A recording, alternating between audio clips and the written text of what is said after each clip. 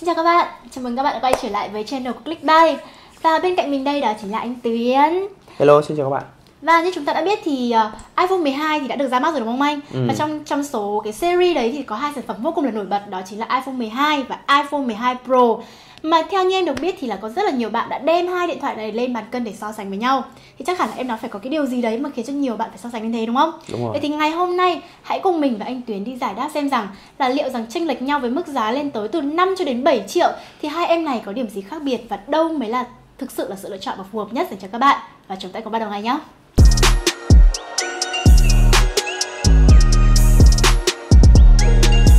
Như chúng ta đã biết ý, thì điện thoại iPhone 12 hiện nay sẽ trong cái ừ. mức giá là từ tầm trên 17 cho đến 22 triệu ừ. và iPhone 12 Pro sẽ là trên khoảng 27 triệu. Thì rõ ràng là với một cái độ chênh lệch giá khá là cao như thế thì không biết là xét về màn hình đi thì có phải là iPhone 12 Pro sẽ ăn đứt hẳn so với iPhone 12 không anh? Ờ, năm nay thì iPhone 12 Pro không khác biệt quá nhiều nếu không muốn nói là không có sự khác biệt giữa ừ. iPhone 12 và 12 I... Pro. Pro. Ừ. Năm ngoái thì em để ý là 11 thường 11. và 11 Pro ấy nó màn hình nó công nghệ khác hẳn nhau. Ừ. À, nhưng mà năm nay thì Apple đã thay đổi rồi. Ừ. Công nghệ màn hình ở trên hai cái màn hình này là hoàn toàn giống hệt nhau. Thậm chí là nhiều người còn cho rằng là sau này iPhone 12 Pro mà bị lỗi màn hình ấy thì lấy luôn màn hình của iPhone 12 thường lắp vào. Thay được luôn hả? Đó. Oh. Thế nó đến, đến như thế rồi thì về chất lượng hiển thị là không có sự khác biệt. Ừ. Nên là mình thấy rằng là với mức chênh lệch 5 đến 7 triệu đồng đấy không đáng để chúng ta ừ. đổi từ iPhone 12 thường lên iPhone 12 Pro. Rồi thì đấy là về màn hình. Vậy thì thiết kế thì sao ạ? Ờ, thiết kế thì thực ra mà nói là mỗi bên lại có những lợi thế khác nhau. Ừ. Với bản Pro ấy, thì chúng ta sẽ có đó chính là khung viền bằng thép và ừ. đặc điểm của cái bản thép này đó chính là nó bền hơn rất nhiều so với ừ. bản nhôm. Ví dụ bản nhôm này em rơi thì vô tình nó có bị móp méo. Bị móp méo hơn đúng không? vết đây rồi. Ừ. Nhưng mà đối với bản thép này ấy, thì em có rơi thì cái hiện tượng cấn móp nó khó xảy ra hơn. Ừ. Đó. Tuy nhiên thì nó cũng có một nhược điểm mà nhiều người lại không thích ở phiên bản thép, đặc biệt là phiên bản thép màu trắng. Ừ. Đó chính là nó dễ xước răm. À xước răm. À nó dễ xước răm.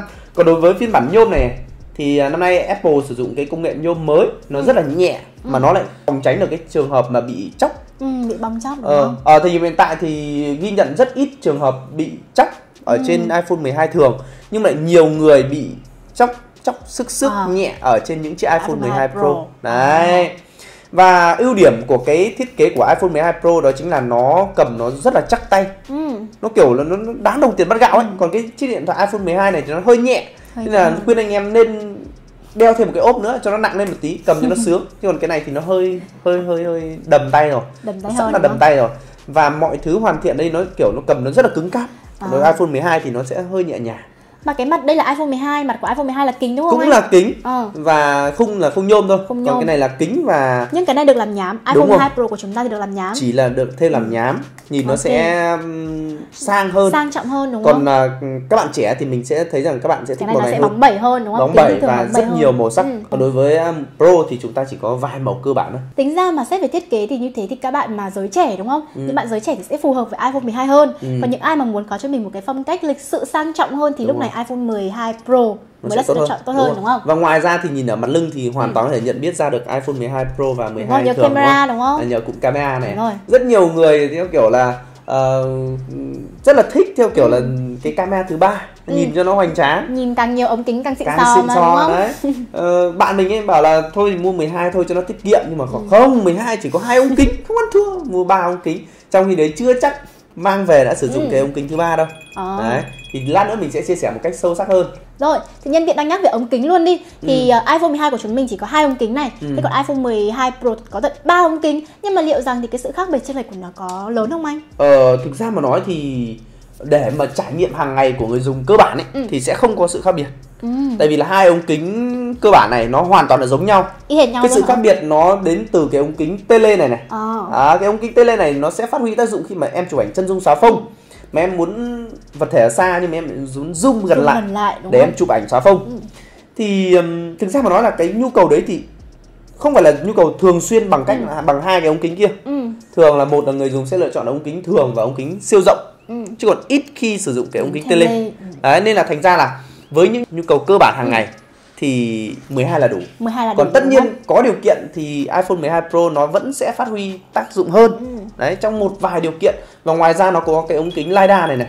Đấy, ừ. LiDAR này thì giúp cho uh, người dùng chúng ta có thể là chụp ảnh trong điều kiện thiếu sáng tốt hơn ừ. nhờ việc là nó đo sáng tốt ừ. đấy, đo sáng rồi thì nó nó nó điều chỉnh tốt điều, hơn đúng điều không? chỉnh tốt hơn okay. đấy nên là thực sự ra mà nói là cái sự chênh lệch đấy nó không nhiều ừ, không, không cần nhiều. đắn đo quá nhiều nếu mà để tiết kiệm thì cứ mua iPhone 12 còn về phần camera trước ấy thì ừ. cũng lại có một cái sự tương đồng giữa iPhone 12 và iPhone 12 Pro.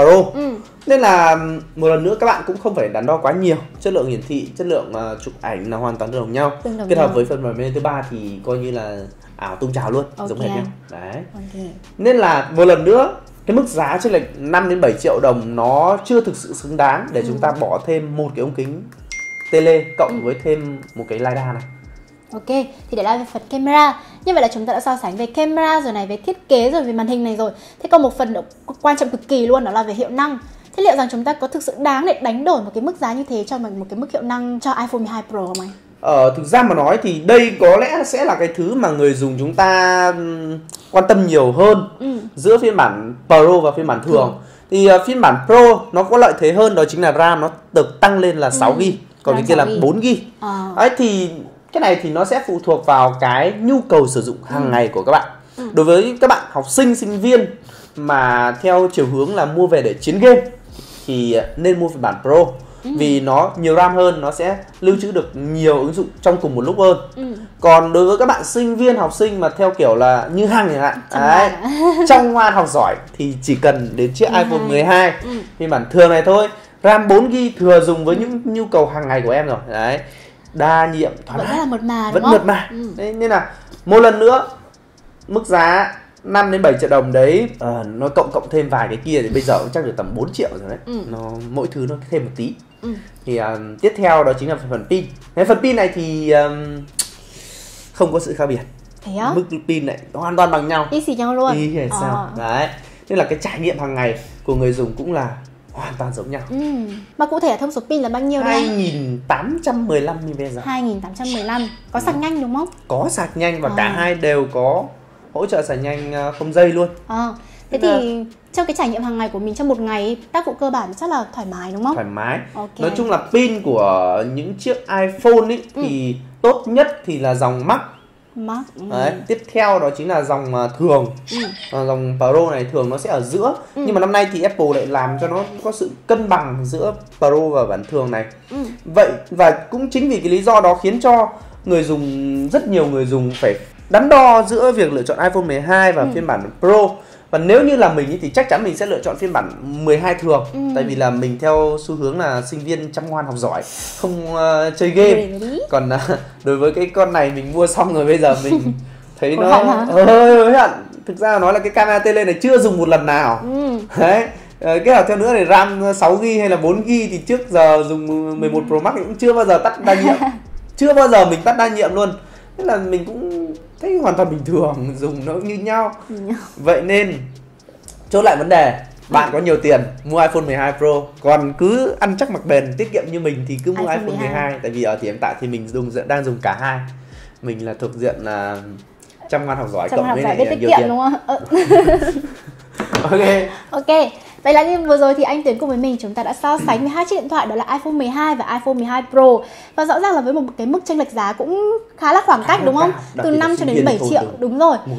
Đúng rồi thì chúng ta cũng iPhone 12 Pro vẫn chưa thực sự đáng để chúng ta có thể đánh đổi với những gì mà em nó mang lại. Ừ. Tuy nhiên thì đương nhiên rồi ai mà có điều kiện có tài chính đúng không? Muốn ừ. sang chảnh, muốn sử dụng cho mình những cái gì tân tiến mới nhất ừ. thì iPhone 12 Pro vẫn vô cùng là tuyệt vời. Ừ. Vậy thì đó là ý kiến của mình. Vậy thì còn các bạn các bạn thấy thế nào? Hay các bạn có ý kiến nào khác không? Thì hãy để lại ý kiến của mình ở phía dưới phần comment để chúng ta chia sẻ thêm với nhau nhé. Và đừng quên hãy like, share và subscribe để ủng hộ thêm cho kênh YouTube của chúng mình nhé. Còn bây giờ thì xin chào và hẹn gặp lại. Hãy cứ vừa đẹp trai vừa giàu bạn có hết. Ok.